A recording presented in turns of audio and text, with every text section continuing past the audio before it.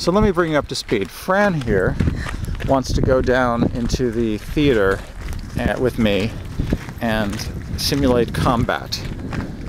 Despite the fact that there is a horde of Frenchmen, French tourists sitting. Who we don't know and will never meet. So, is why should we let that spoil our fun? Well, I, I think you're begging the question and identifying this activity as fun.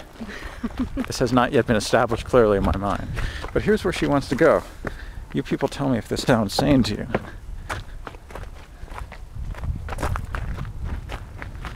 I have to pretend like I'm taking this still so they won't think I'm filming them, even though I am.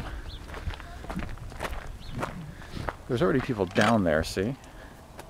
That's Really? okay. Do you want to go down there and, and like fight like Roman gladiators in front of this entire crowd? Entertain them. I like it better with an audience. That's what I hear. I'm not sure I'm into this, but if you want to go, I promise to film the entire thing.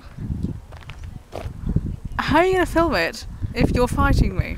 Well, that's what I said. Uh, I, I'm not sure my own enthusiasm has been fully engaged given the audience factor, but uh, if you want to go down there and um, roll around like a wild boar and, uh, And what? and whatever else they did during gladiatorial combat, then uh, I'd be happy to help.